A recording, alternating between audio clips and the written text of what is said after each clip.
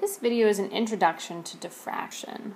So let's say that we have an incoming plane wave. These lines would be the wave fronts. So if we're going to put a barrier with an opening in the front of this plane wave, the wave would actually bend around the edges. This tendency for waves to bend is called diffraction. To predict this bending, we can place a Huygens emitter along the wavefront.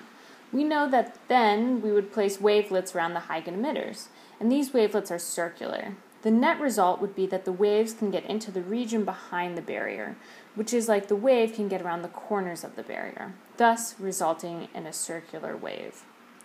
The degree to which a wave bends around the edges is based on the size of the opening compared to the wavelength.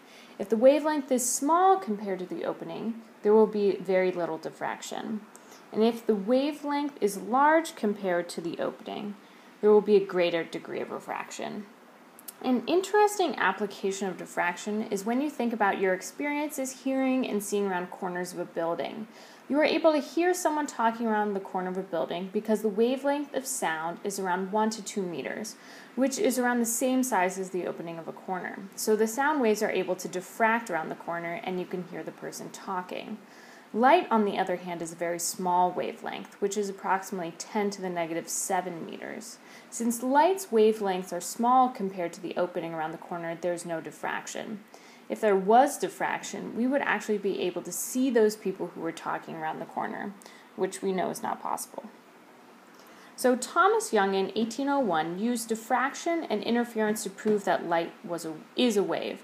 His experiment is also known as the double slit experience experiment.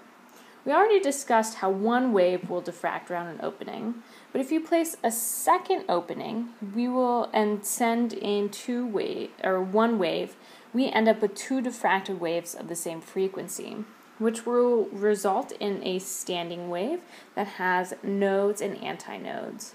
For light in Young's experiment, the nodes and antinodes were present in the areas of bright and dark fringes within the light. The areas of darkness are when there was destructive interference within the diffracted light waves, and the areas of light are where there was constructive interference within the diffracted light waves.